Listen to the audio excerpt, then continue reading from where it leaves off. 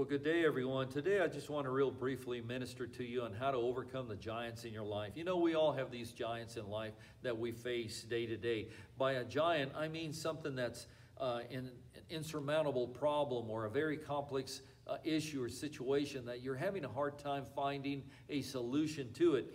You try to bring these giants down with, but they seem to loom larger with the passing of time. And, and over time, you start to meditate on them, and they, they tend to get bigger. And your, your giant starts to seem unstoppable. Maybe your giant is a giant of fear, maybe it's unbelief, doubt, uh, financial issue, a health issue, uh, maybe it's a giant of addiction. Uh, you know, the, the, list goes on. So, how do you defeat a giant? You know, well, let me give you some practical principles that I've applied to my own life as I have faced giants uh, in my in my journey. You know, we all have these giants. We all face severe hardships and seemingly insurmountable problems and obstacles and temptations. But the first thing you need to understand is that the battle is not yours. The battle belongs to the Lord, but the victory shall be yours. And, but many times we're afraid of these threats and we seem to be paralyzed. But we need to remember that God is in charge. But when you apply these principles, all of a sudden you're releasing control to God. So not only is He in charge now, but He's also in control. And you know what? God is more powerful than any giant that you might face.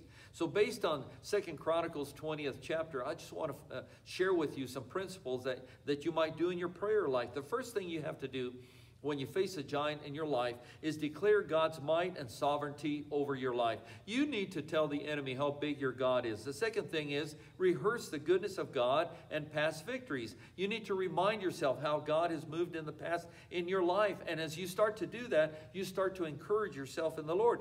The third thing is confess your reliance on God, but also on your confidence in God's word. As you start to confess your reliance on God, all of a sudden what you're doing is you're inviting his presence into your life. And the fourth thing is always plead for God's divine intervention. No one can defend you, no one can protect you, no one can guard you like your God. And, and the fifth thing is you must worship the Lord. Set time aside to lift up praises to God, just to worship Him and spend time with Him. You know, when you start to do that, all of a sudden the Lord will speak to you as He spoke in Second Chronicles 20th chapter. He says, Don't be afraid, don't be discouraged, for the battle is not yours, but the victory is yours. But you know what? Too often we have defeat in our mind. But I need to tell you this defeat is simply a state of mind. The instant you find yourself questioning everything, all the work, the sacrifice, the hardships. You need to stop that immediately and go back to those principles because to, to feel temporary defeat is simply normal. Just regroup, replan, and head back out to the battle because the harder the battle, the sweeter the victory. You know, in the midst of the battle, you must make those confessions about yourself and declarations about God that you know what you're going to go out against them you're going to find them at their end and you're not going to need to fight in this battle. You're just going to position yourself in jesus name dress yourself in the armor of christ and then you're going to know that you do not need to fight in this battle because God Himself is going to go before you. He's going to fight the battle for you because you've already invited Him into that. Attack your giants with your confession confession of God's promises, God's ability, God's might, God's power. You've got to bring it out into the light of day. Quit covering it up. Quit rationalizing it. Quit justifying it. Just deal with it by applying these principles. Finish the giant off